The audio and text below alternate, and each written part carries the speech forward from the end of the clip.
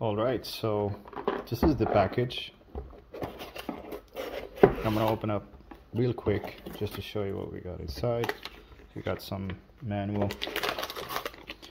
The screen itself actually it feels um, you know after watching so many videos nobody actually talks about this but it, it feels a little bit uh, heavy uh, well built uh, and then underneath here we got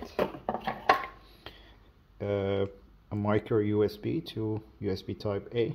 Uh, I've actually checked the length on this and it seems okay. Again it's one of those things that nobody speaks about. Uh, we're looking at about somewhere around 60 centimeters. I'm gonna check it and confirm it shortly. Got some screws uh, some stand-up screws here. And we got an HDMI cable. So this is the the flat one. Again uh, the length is similar to uh, the earlier cable. So we're looking at about uh, yeah we're looking about approximately 60 centimeters. Now I'm gonna leave a link for this uh, and uh, from both Amazon and AliExpress. Um, bear in mind the one from AliExpress is about half as much as you would probably get it on AliExpress. Now granted the shipping is a little bit tedious. It takes uh, a little bit longer. It took me or it took about two weeks for me to get this item. All right, so now as for the screen itself I opted for the uh, non-touch model.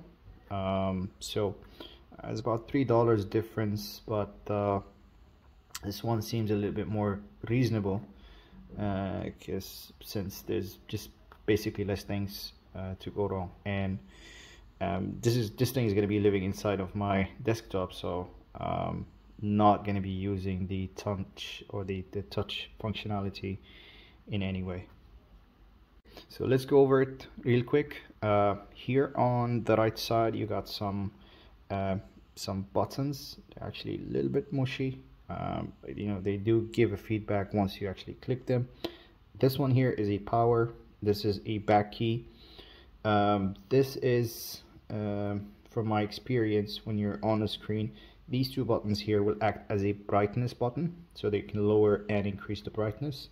And then this one here is the uh, for the menu. On the right side you got a headphone jack. Um, these both act actually like a power since I've opted for the non-touch model. They both of them uh, serve the same function. And then lastly we got the standard uh, HDMI port here. Alright so that's the screen. So this is the desktop that I plan on upgrading with a uh, sensor display. Um, this is actually my first build uh, now if you are interested in uh, getting or knowing a little bit more details about it do let me know and I'll probably share it by either adding it on description or pin it in a comment. Um, now let's go and explore the space uh, which should be somewhere around here.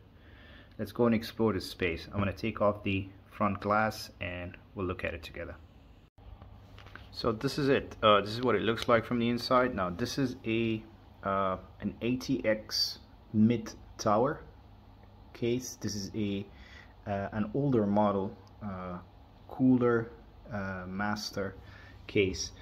Um, it's actually a, a big one.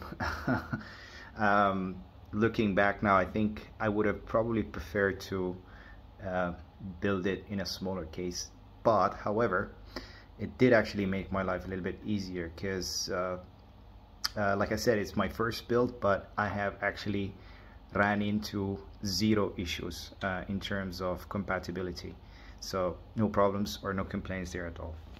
Now this is the space I plan on uh, putting it or putting the display in. Um, now it's it's important that um, uh, that we talk about the wiring thing so my plan is to run the wires somewhere from here um, maybe towards the back and then coming from the back and then connecting to the uh, the GPU or the graphics card. Uh, you can't actually, so you if, if you're running your display from your graphics, both displays have to be or have uh, to be connected to your graphics. So this is what it looks like again, one more time.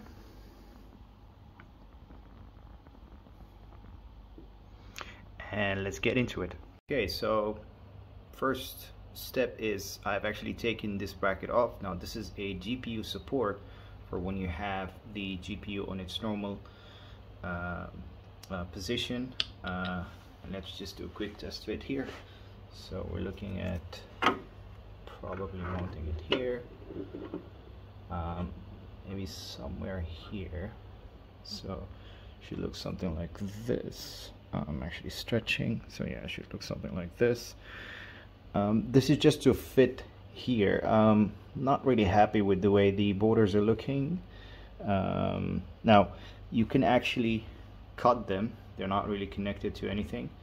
Um, but um, I don't want to rush into that decision, so I want to play a little bit further and see what can be done. Now, you can actually buy a, a frame from Amazon or AliExpress um, but I opted to actually check it first and then buy the accessories now this is really important from when you're building a PC uh, you really want to do your research and actually this is why I'm actually doing this video because um, every case and every build is different so um, you end up although most of the videos you find can actually provide some useful information sometimes that useful bit of information that you actually need is not available. So I hope that by making this video I'm actually uh, giving you another piece of information that uh, that could potentially help you and save you from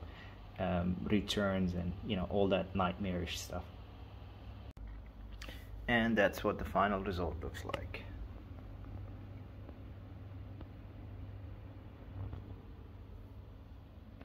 So I've decided to just keep it hanging in there um, until I decide what I want to do uh, with it. So I hope you like it. Hope you find it helpful. Uh, thanks for watching and I'll see you soon.